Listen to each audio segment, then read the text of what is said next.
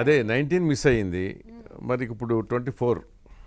I'm interested to contest. I'm ready in always అనుకొని నేను I informed sir.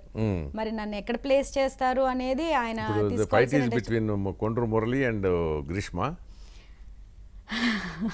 అది decide చేయాల్సింది మాత్రం సరే. Of course the party leadership has to decide స్థిరంగా ఉండే వాళ్ళు కావాలా జంపింగ్లు చేసే వాళ్ళు కావాలా అనుకుని సారే డిసైడ్ చేసుకోవాలి. మరి ఇంటెలిజెన్స్ రిపోర్ట్స్ అవన్నీ సార్ తెప్పించుకోవాలి. మధ్యలో చెప్పే మాటలు కాకుండా నిజంగా అసలు గ్రౌండ్లో అంటే సీనియర్ మోస్ట్ నాయకులు అందరినీ కలుపుకొని వెళ్ళే వాళ్ళు ఎవరు కావాలా? లేకపోతే మాకు ఒక్కలే కావాలి కొంచెం అరగెంట్గా ఉంటాం అనుకొని ఎవరు ఉంటారో అది మరి సారే చూసుకోవాలి. అంటే ప్రతిభా భారతిని తెలుగుదేశం విడదీసి చూడలేంది. అవునండి. ఎందుకంటే ఆ పార్టీ పుట్టింది ఈవిడ రాజకీయంలోకి వచ్చింది. సో అది ఈ మధ్యలో ఎక్కడ కూడా పక్క చూపు చూసిన ఆవిడ కాదు. సో ఆవిడతో పాటు ఎమ్మెల్యేలు అయిన వాళ్ళు కొంతమంది ఎన్టీఆర్కి వ్యతిరేకంగా నాదెండ్ల భాస్కర్ రావు చేసినప్పుడు అటు వెళ్ళిపోయారు కొంతమంది. సరే ఎలా వెళ్ళిపోయారు అలా అంతర్ధానం కూడా అయిపోయారు. సో ఈవిడేంటంటే తర్వాత చంద్రబాబు టైంలో కూడా ఈవిడ చంద్రబాబుకి సపోర్ట్గా నిలబడ్డారు. స్పీకర్గా కూడా కొంచెం రెస్పెక్టబుల్గా. చేశారు. అందుకని ఏంటంటే అది కొంత మీకు ఉపయోగపడుతుంది. బట్ ఇప్పుడున్న పరిస్థితులు ఏంటంటే సెంటిమెంట్స్ లేవు ఇప్పుడు పాలిటిక్స్. ఫ్రాంక్లీ స్పీకింగ్ సెంటిమెంట్స్ కాదు. గ్రీష్మ గెలుస్తుందా గెలవదా? గెలుస్తుందంటే వేసేయి. గెలవదు పక్కన పెట్టేయి అనే టైప్ అయ్యో ప్రతిభా భారత్ ఫీల్ అవుతుందేమో.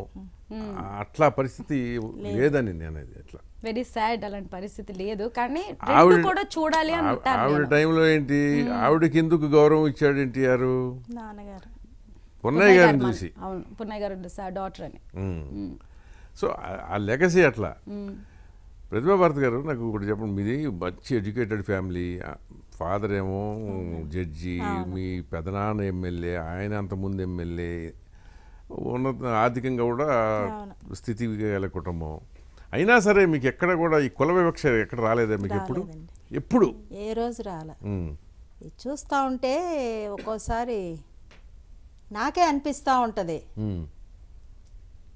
ఇంత వివక్షత అని ఇప్పుడు మీరు మీకు ఎదురు పడ అయ్యి ఉండకపోవచ్చు కానీ జరుగుతున్నాయి చూస్తుంటారు. అవన్నీ తెలుసు. అవన్నీ తెలుసు. నేను వెళ్ళాను కదా. అదే కదా. నేను ఎక్కడెక్కడ ఇన్సిడెంట్స్ జరిగినప్పుడు as a social welfare minister I went. There. I seen all the all those అప్పుడు మరీ అరాచకంగా కదా అవన్నీ చూశాను. చూడడమే కాకుండా వాళ్ళకి ఇవ్వాల్సినటువంటి ఏవేవి చేయాలో న్యాయం. అంతా కూడా అన్నగారు ఏది చెప్తే అదంతా కూడా చేసుకొని. పిక్చర్ అవి ఇచ్చిన తర్వాత ఇంత ఘోరమా?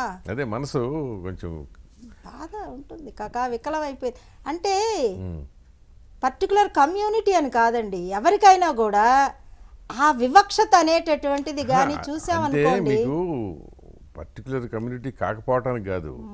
వివక్ష ఎవరిదైనా వివక్ష వేరే విషయం. కానీ ఈ పర్టికులర్ ఎస్సీ. కమ్యూనిటీ విషయం వచ్చేటప్పటికి ఓవర్ ది డికేట్స్ డికేట్స్ నడుస్తా. వచ్చింది కదా.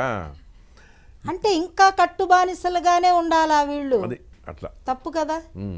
తప్పు కదా అలా చూడకూడదు కదా. తప్పే. ఎప్పుడైనా ఇప్పటికీ ఆలోచించడం తప్పు. అంటరానితనం ఇంకా ఉంది అని అంటే నేను మీ దగ్గర ఉందా?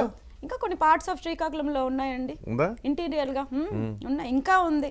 నేను మన ఇదే ఈ తిత్లీ టైంలోని చేసినప్పుడు ఏవైతే సైక్లోన్ ఎఫెక్టెడ్ ఏరియాస్ లోపలికి వెళ్ళినప్పుడు అంకల్ నే they way still some places అంటే వాటర్ ట్యాంకర్ వచ్చింది. అక్కడ పెద్ద పెద్ద బస్ స్టాండ్ దగ్గర పెట్టమన్నారు. ఎస్సీ కాలనీకి లోపలికి వెళ్ళి వాళ్ళకి ఇంకో ట్యాంకర్ ఇవ్వండి మేము ఈ ట్యాంకర్ ఇవ్వము అని అన్నారు. ఉంది. నేనే షాక్ అయిపోయాను. కలిసి పట్టుకోరు కలిసి చేయరు. వాళ్ళు లేకపోతే మేము ట్యాంకర్లో నుంచి మేము తీసుకున్న తర్వాత వాళ్ళకి ట్యాంకర్ పంపించండి. నేను ఒక టూ మినిట్స్కి తాత ఎస్సీ ఎస్టీ కమిషన్ తాలూకా చైర్మన్గా చేసేటప్పుడు రికమెండేషన్స్ చేశారు. చంద్రబాబు నాయుడు గారు పెట్టినప్పుడు. ఆ రికమెండేషన్స్ ఆయన పేపర్లో రాసినవి అప్పుడు ల్యాప్టాప్లో నేనే ఎక్కించాను అవన్నీ. సో నాకు అవన్నీ రాస్తున్నప్పుడు ఫస్ట్ నేను వర్డ్ వివక్షత అంటే ఏంటి తాతయ్య అని నేను అడిగాను ఆయన్ని నాకు గుర్తు కూడా. సో వివక్షత అనేది మినిస్టర్ స్టేట్లోని ఎమ్మెల్యే స్టేట్లోని లేకపోతే ఒక పొలిటికల్ హైగా ఉన్న పొలిటికల్ లీడర్గా ఆవిడ చూడ చూడకపోయి ఉండొచ్చు లేకపోతే ఆవిడ వరకు వెళ్ళకపోయి ఉండొచ్చు. కానీ ఒక గ్రౌండ్ లెవెల్లోని ఒక వార్డులోని వాటిలో తిరిగేటప్పుడు అవి చాలా క్లియర్గా in this day and age నేను చూశానండి. అంటే నేను నాకు నాకు ఐ వాజ్ షాక్డ్. పర్సనల్గా ఎక్స్పీరియన్స్ కావట్లేదు ఇప్పుడు పర్సనల్గా కాలేదు. నాకు అది పర్సనల్గా కాలేదు అని అంటే కొన్ని కొన్నిసార్లు మన పార్టీలోనే చాలామంది ఎస్సీ మాలా మాదిగా మధ్యలోని ఒకరికి ఇంపార్టెన్స్ సారిస్తారు ఒకరికి ఇంపార్టెన్స్ ఇవ్వరు అని కొంతమంది నా దగ్గరకు వచ్చి మాట్లాడడం అనేది అదే ఫస్ట్ ఎక్స్పీరియన్స్ నాకు. ఓకే ఓహో ఈ దీంట్లో ఈ రెండింటి ఈ రెండిట్లోని మధ్యలోని మనకి ఇవ్వరు మనకి ఇస్తారు అంటే లేదండి. మాదిగలకి ప్రాధాన్యత ఇచ్చి మాలకి ఇవ్వడం లేదు అనేది చాలా మంది నా దగ్గరకు వచ్చి చెప్తే. మరి ఎస్సీ మాల మాకు ఇచ్చినప్పుడు ఇంతకన్నా ఇంపార్టెన్స్ ఏంటన్నానంటే ఇప్పుడు ప్రస్తుతం మనం అందరం కలిసి కట్టుగా ఇప్పుడు అన్ని వర్గాల్లో నుంచి మనల్ని పక్కన తీసి పెట్టారు ఇప్పుడు ఎమాంగ్ మన ఎమాంగ్ దిలోని మనం కొట్టుకుంటే ఇంక ఎక్కడ ఎలా వర్కౌట్ అవుతుంది? మీకు కావాలంటే నేను ఒక రిప్రజెంటేటివ్గా ఉండి నేను ప్రతి విషయం నేను సార్ దృష్టికి తీసుకువెళ్తాను. కానీ మనం మాత్రం మీరు నాకు చెప్తున్నట్టు అన్నిటి దగ్గర చెప్పకండి. అందరూ నాలాగా ఒక సెకండ్ అయ్యో అన్నట్టు ఉండదు. నిజమే అని అనుకొని ఒకరి మధ్యలో ఒకరు ఒకరి మధ్యలో ఒకరు అదొక రప్చర్ అయిపోతుంది విచ్ ఇస్ నాట్ ట్రూ ఒక ఒక ప్రాంతాన్ని మధ్యలోని ఓట్ బ్యాంక్స్ ఆధారంగా సెగ్రిగేట్ చేస్తాము. దాన్ని బట్టి సెగ్రిగేషన్ అవుతుంది తప్పితే మీరు దాన్ని అనవసరంగా ఎలివేట్ చేయకండి అని. ఏంటంటే రాజకీయ ఎత్తుగడల్లో. స్వార్థంతో విడగొడతా ఉంటారు ఇక. దాని తోడు అవకాశం కూడా ఇస్తారు. ఇప్పుడు సపోజ్ మీరు నువ్వు అన్నట్టు ఎమాంగ్ ఎస్సీస్. మాదిగా మాల అని వస్తే వీళ్ళిద్దరి మధ్య ఇచ్చిపుచ్చుకోవటాలు లేవుగా? అవును. పెళ్ళిళ్ళు? అవును. అవును నేను విన్నాను మమ్మీ. అది ఐ జస్ట్ హర్డ్ ఇట్ లేవు కదా? ఏమవుతుంది? అసలు ఈ ముందు అక్కడి నుంచి కలపాలి కదా. కలపాలి కదా. కల్ప కలుపుతూ రావాలి. సో అది ఇక అది ఏంటంటే మనం పరిష్కరించేది ఇప్పుడు పరిష్కరించేది కాదు. అది వేరు. కానీ అది జరిగితే ఏంటంటే అప్పుడు ఈ విడగొట్టే వాడికి స్కోప్ ఉండదు. నా ఉద్దేశం అది. ఇది అందుకే ఇద్దరు కూడా ఇద్దరు కూడా మిగతా అందరి ముందు వివక్ష గురవుతున్న వాళ్ళే కదా. అవునండి. అంతే కదా. ఇద్దరు కూడా. ఎగ్జాక్ట్లీ వీళ్ళలో మళ్ళీ ఎందుకు ఇంక మళ్ళీ? అది ఎక్కువగా ఎక్కువ రెచ్చిపోయి మళ్ళీ చేసే- చేసేది ఇప్పుడు వైఎస్ఆర్సీపీ సక్సెస్ఫుల్ అవ్వడానికి కారణం ఇదే కదా. ఇప్పుడు ఎస్సీల్లోని విడదీసింది అర్థమైంది కదా. ఓ, 100% అందుకని ఏంటంటే అది అది తెలుసుకుని ఎక్స్ప్లెయిన్ చేసేటట్టు అంతే అండి. అంతే నేను ఎక్స్ప్లెయిన్ చేస్తూనే ఉన్నాను. అందరికీ అదే చెప్తున్నాను కూడా. మీరు విన్నది మీరు చూస్తున్నది వాళ్ళు చెప్పిందంతా నిజం కాదు. మనంతలు మనం విన్నాము. చెప్పింది మీరేంటంటే అదృష్టవంతులు. అవునండి. పున్నయ్య గారి ఫ్యామిలీలో పుట్టడం. ఒక రకంగా. అవునండి ఎందుకంటే ఆయన అప్పటికే హైకోర్టు జడ్జి అయిపోయి ఉండటం వల్ల ఏంటంటే అమ్మో అని చెప్పి ఎవరు మిమ్మల్ని చిన్న చూపు చూడటానికి సాహసం చేయలే. దానితో ఆవిడ రావడం రావడమే మంత్రి అయిపోవటం. ఆ మంత్రి కూడా సుదీర్ఘకాలం పనిచేశారు ఆవిడ.